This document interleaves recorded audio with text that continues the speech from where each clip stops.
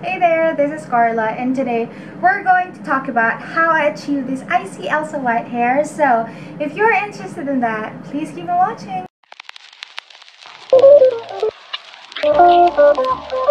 Just a disclaimer, I'm not an expert in any way, so the things that I did are the things that worked for me, and it might not work for everyone, so please take everything that I say with a grain of salt. It's very important to do your own research as well, know your own hair, because there's a lot of factors that can really affect the end result. So I'm just here to guide you in coming up with an informed decision when you're going to try to achieve your hair goals. So with that, let's start!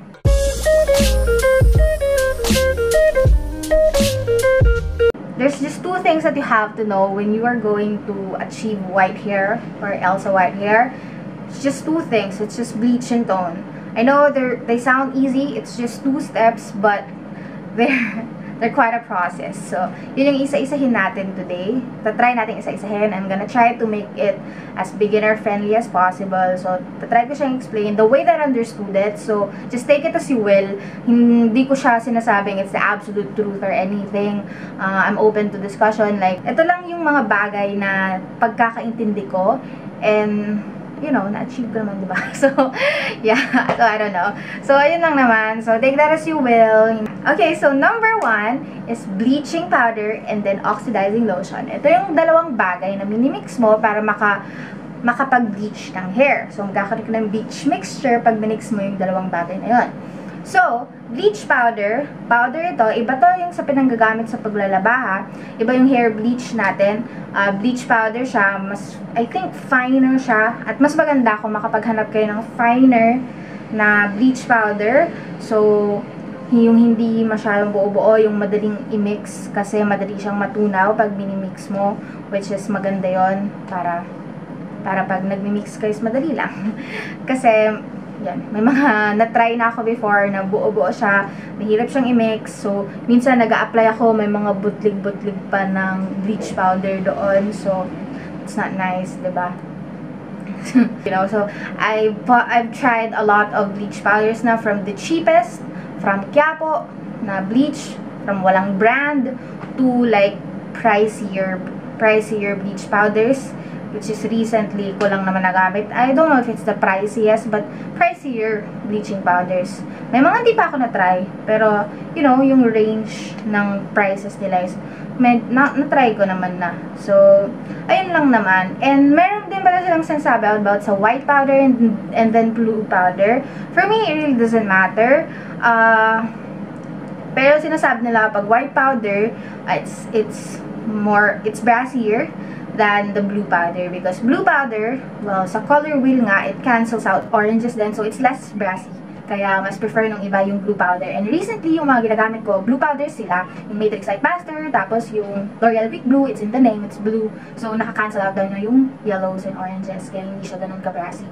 Yan yung sabi nila. Uh, hindi ko na kasi ma-compare because the last time that I've used white powder is so long ago na, hindi ko na matandaan. I don't have photos anymore and I don't know if gamit ko ba talaga is white powder noon kasi hindi ko naman masyadong ina-document yung pag-bleach ko noon. Kaya hindi ko na ma-compare. Pero yun lang naman, yun yung sabi nila, I don't know, take that as you will. Pero, ayun, Okay. Sa oxidizing lotion naman, oxidizing lotion, tinatawag din siyang hydrogen peroxide, tinatawag din siyang oxidizer, oxidant, cream developer, cream oxidizer, you know. ang dami, ang dami siyang tawag, pero iisa lang naman yon Sila yung minimix sa uh, bleach powder. So, ang dapat nilang tandaan sa oxidizing lotion ay yung volume niya. So, ang volume niya is, uh, yung mga volume niya is like, merong 40 volume, may 30 volume, may 20 volume, ganyan. So, ang equivalent nun ay percentage. So, huwag kayong malito ha, na magkakaiba yung 40 volume, magkakaiba, sa, magkaiba siya sa 12%. Kasi pareho lang ang 40 volume at 12%, magkapareho ang 30 volume at 9%, magkapareho ang 20 volume at saka 6%, at magkapareho ang 10 volume at 3%. So, yun lang. So, ang feeling ko, para matandaan nyo siya, pag percent ang pag-uusapan, 3 yung difference niya starting from 12. So, 12, 9, 6, 3. Tapos, pag volume naman by 10. So, 40, 30, 20, 10. Ayun, diba? So, math, it's it's very useful sa ating everyday life. so, importante nyo siyang malaman. Ayun, yun lang yun. So, huwag kayong malito. At ang pinaka-safest, pinaka-safest pa, ay 30 volume or 9% developer. Kasi, bagay na bagay yun sa mga beginner at sa mga nagdi-DIY. Why? Kasi hindi siya ganon kabilis mag-lift. Less damage din siya. So, makokontrol mo siya. At, ayun, madali siyang gamitin at less harsh siya. And 40 volume naman, it's best to leave it sa mga professional. Well, I've been using 40 volume before and gusto ko lang uh, sabihin na it's because roots lang yung nililift ko naman and then so mabilis ko lang siya. So nahahabol ko yung paglighten niya. Yun kasi yung problema pag di mo nahahabol, obvious na obvious na hindi siya pantay. So, yun know, yun naman. Wala naman akong problema sa 40 volume before. Uh, tapos tignan nyo din yung mga beach powder nyo kasi meron silang mga suggested na ano, may mga suggested silang uh, bleach level, ah, oxidizing lotion level. Kaya, importante rin na basahin nyo yung mga nasa likod ng mga bleach powders ninyo. Kasi minsan, uh, nagsasuggest sila na better na ganitong gamitin, mga ganon. So, importante din yun na magbasa din kayo sa product na binibili ninyo. Tapos, uh, yung 20 volume developer or ano yun, 6%. Mostly, ginagamit yun sa toners. Nag, nag, nakagamit na kami for toners, yung mga Wella Charm, mga ganyan.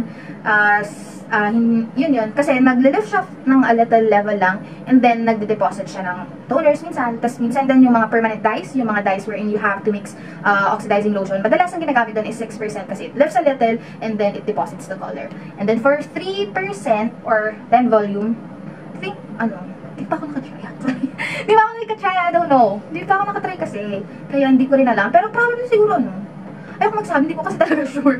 Pero baka nga for colors niyo siya, like, or for, you know, removing, uh, removing color, uh, kunyari may kulay ka sa buhok, magre-remove ka ng hair color. Feeling ko lang nga. Kasi, syempre, lesser level siya. Hindi siya mag-lift. Aalisin lang. Sana. Hindi ko sure, ha? I don't know. So, yun na lang. Pero, maliit yung level, ano niya. So, ang isipin ko lang, maliit yung lifting level niya or probably wala. Pero most, or nagde-deposit lang siya ng color. Pwede rin gan. Ah, yeah. I think, yung 3%, ay, I think yung 3% nagde-deposit lang ng color, hindi siya nakaka-lift pala. Okay? Tandaan ko na. Sabi yun ni Miss Paula. But don't quote me on that, ha? Hindi ko pa sure. Tama, correct ko sa comment. Pero ayun na nga, yun lang naman yun, yung dapat yung tandaan sa oxidizing lotion. And then when you mix them together, yung bleach powder at oxidizing lotion, 2 is to 1. 1 is to 2 pala. 1 is to 2. So, 1 bleaching powder is to 2 oxidizing lotion. So, kahit anong measurement yan, kunwari, isang, isang dakot ng kamay mo. Hindi siya accurate. But, kunwari, isang cup na maliit, ganyan. Yung pang, yung scoop cup, ganyan isang gano, dalawang gano ng bleach powder. Ay, tama, bulo ko. Okay, so, ang ratio ng pag-mix ng bleaching powder at saka oxidizing lotion ay 1 is to 2. So, 1 bleaching powder and then 2 oxidizing lotion. Yun yung suggested. Pero, parang yun yung common, yun yung common knowledge. Pero mas magandang basahin nyo pa rin yung nasa likod ng bleaching powder ninyo or sa oxidizing lotion ninyo. Pero pag walang nakasulat, I think 1 is to 2 is like the safest way that you could go. 1 is to 1 is like really thick na for me, especially sa mga ginagamit kong oxidizing lotion, thick sila. So, ah, for me, never pa akong nag 1 is to 1 kasi feeling ko mas tipid ang 1 is to 2. Kuripot talaga. Pero ayun, yun lang, 1 is to 2 ako lagi. Yun lang yung gusto kong sabihin. Pero hindi naman ibig sabihin na masama yung 1 is to 1. Feeling ko nga mas mataas yung lifting level nun. Pero, ayoko kasi nang nabibitin sa bleaching powder. Gusto ko may bleaching powder ako lagi. Kasi madali lang mag-order ng oxidizing lotion. Ang bleaching powder ang hindi. Okay, sa... So, doon na tayo sa brands na, nag, nag, na ginamit ko for this white hair.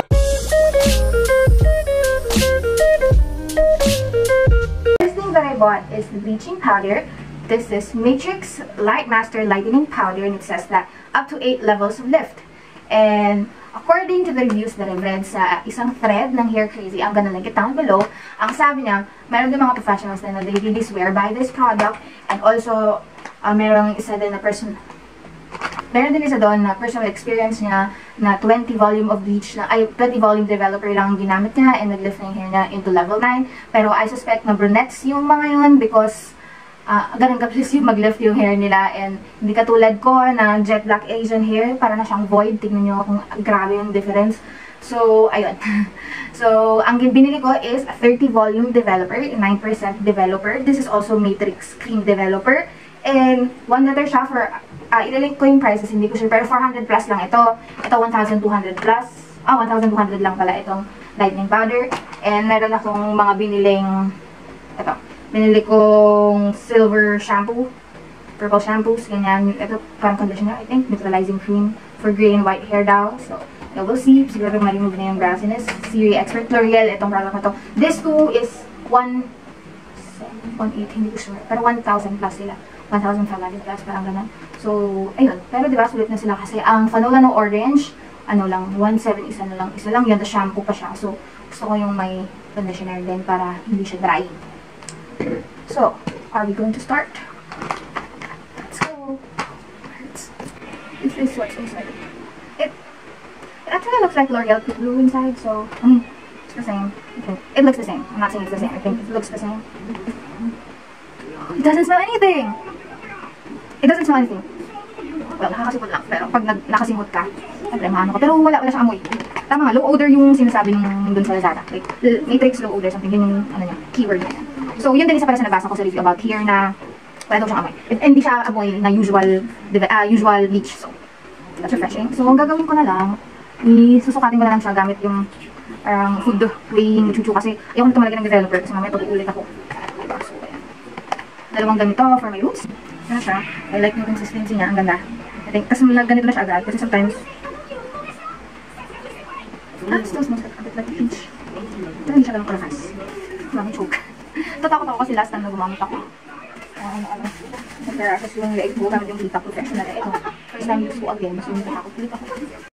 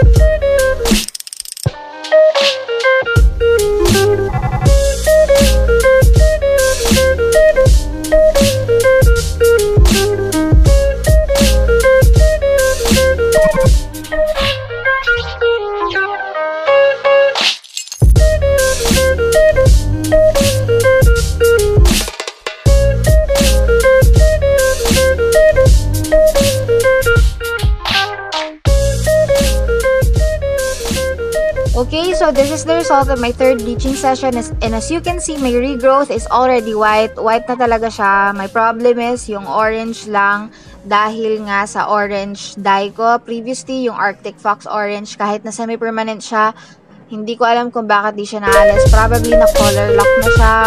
Kaya, ayun.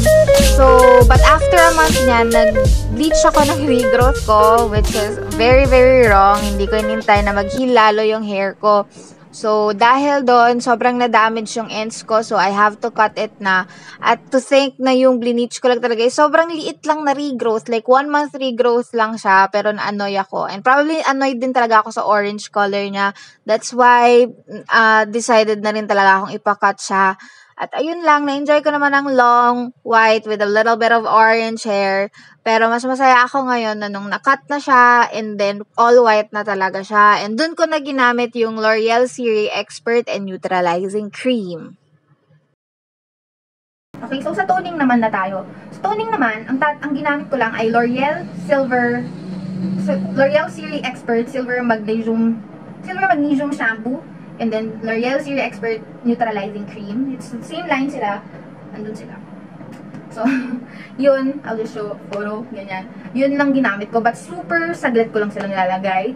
Uh, nung una pa, is takot pa akong i hindi sila i-dilute sa water dahil nga feeling ko mag, mag, mag-blue yung hair ko, mag-purple siya so natatakot ako or magsi-silver siya and gusto ko lang siyang white kaya saglit ko lang siya, uh, diluted na nga, super saglit ko lang siyang nilalagay. Pero nung ano naman na, nung tinry kong hindi siya, hindi siya i-dilute, mas icy siya, super icy as in. So, ang ganda. Ayun na, yun yung ginagawa ko, di ba? White na white talaga siya. Yun na siya. Yun lang naman. So, toning kasi, it cancels out yung mga mga tones sa hair mo. So, kunwari, you have, ang tayo kasi, may, ang mga undertones natin, it's either like oranges or, uh, yung mga tones ng hair natin, it's either oranges or yellow. So, ayun na nga. Uh, kaya, kinakancel ng yellow, ay kinakancel ng purple ay yellow and then blue is for oranges. But, uh, dahil nga ako, medyo wala ng tones yung hair ko, wala na masyadong yellow, wala na masyadong orange, I just use yung silver shampoo na, pero may pagka-blue kasi yun eh, parang blue, blur, blur purple siya. Parang blue purple siya. Pero hindi ko sure. Pero icy talaga siya. Yung fanola ng orange kasi, kasi blue meron akong video about it. Kung nakikita nyo, sil super silver muna siya, super gray muna siya. Uh, kaya, grayish, icy gray siya. Ganyan pagka first na ginamit. Tapos in person, meron yung mga blue blue pigments kang makikita. Uh, masyado siyang, pero dahil feeling ko yung binili ko is extra blue pigment. So, para talaga yan sa mga uh, brassy yung hair. Uh, kahit saglit ko lang nilalagay, medyo ano pa rin siya, medyo ganun pa rin siya. Sa L'Oreal Silly Expert naman, saglit lang kasi I just use it like shampoo. Ginanon ko lang siya kasi spreadable siya, very nice siyang gamitin. Uh, parang less than a minute more than that could make my hair silver. Which is nice naman, nagawa ko siya na parang silver. Pero white nga tayo, di ba? So, less than a minute ko lang siyang ano. Pero because my hair is level 11, pag level 10 lang kayo, siguro probably level, ah, siguro probably 1 minute or 2 minutes, ganun. Or mag-strand test kayo kasi depende rin yan sa buhok ninyo kung gaano niya masusoak in yung, yung pigments. Kasi nga ako, probably sobrang, ano siya, sobrang, I mean, you know, very porous na yung hair ko dahil nga nag-bleach ng ibang parts ng hair ko, porous na siya. So, nasusukin niya agad. So, saglit ko lang siya nilalagay. Okay na siya, white na siya agad. Pagkalabas, very, very icy na siya. Sometimes, naghihintay pa ako ng ilang days, parang wala yung pagka, may nakikita pa rin akong silver, annoys me. Gusto ko nga white. So, naghihintay ako bago ako picture. Kasi gusto ko white ang hair ko, ayoko ng silver. Kasi I've tried it before na. May, pero ayun nga, masaya naman. It's very nice to experiment. Wala namang one way lang sa pag-white hair. Uh, do your own thing, experiment, strand test. Importante mag-strand test, lalo na pagtakot kayong ibuong buhok or ayaw yung masayang. Importante, importante test. Mag-explore pa kayo ng maraming blue shampoos, purple shampoos, or mga toners. Uh, mas gusto ko yung mga toners na blue shampoo, purple shampoo, yung mga conditioner lang. Dahil, uh, yun nga, nag-fade sila, pero nag-fade sila, di ba? Pero mabilis mo lang namang mababalik. Parang hindi sa hassle. Kasi pag permanent dye, I really have that fear na hindi siya maalis. Tapos ma-overtone yung hair ko. At may overtoning pala. Huwag yung kakalimutan yun. There's such thing as overtoning na hindi pa naalis yung una mong pag-toner. Tapos lalagyan mo na ulit. So magda-darker siya. So hindi nyo ma-achieve yung gusto nyo. Lalo na kung gusto nyo is white hair. So importante yun na pa-fade nyo muna yung previous pagtotone nyo bago kayo mag-revamp. Ganun yun. So, tadaan yun. Overtoning is a thing It's not a myth. Nangyayari siya talaga. So, tipid siya, di ba? Kasi nakakatipid kayo, you don't have to do it weekly. For me, low, super low maintenance ito. Kasi nga, di ba, ang last toning ko pa is last September 7 and October 5 na ngayon. So, very, very, very convenient siya for me. At nag-workout ako, so pinapawisan ako almost every day. Tapos, see that? Lagi ko siyang binabasa, lagi kong binabasa yung hair ko, lagi siyang napapawisan. Hindi siya naaarawan, pero napapawisan siya every single day. So, nabibilib ako sa kanya. But probably because na level 11 yung hair ko. At ayoko naman kaya go through sa ganun kasi mamaya hindi pala kaya ng hair nyo na mag level 11 since it can really be damaging pag ano pa, pag may mga ganung hair na nag-break off na ng ganun. Pero ayun nga. So, level 10 safest and you can tone your hair then you can achieve white hair na. But as for me, level 11 siya. I don't have I don't have to tone it like weekly, ganyan. Uh, nagstay pa rin yung whiteness niya, yung iciness niya for like a long time. Tatry ko siguro hindi muna mag-tone this month and I'll, I'll let you know kung anong ganap, kung pinito pa rin ba siya. Tapos everyday pa akong pinapawisan. So, ayun. And that's it. I hope you've learned something from this video. And if you did, please give this a thumbs up. And if you want to follow along with my hair journey in achieving my hair goals, so we can achieve our hair goals together, please do subscribe to my channel to see more. And also follow me on my socials at Miss Karma underscore on Instagram and on Twitter. Bye!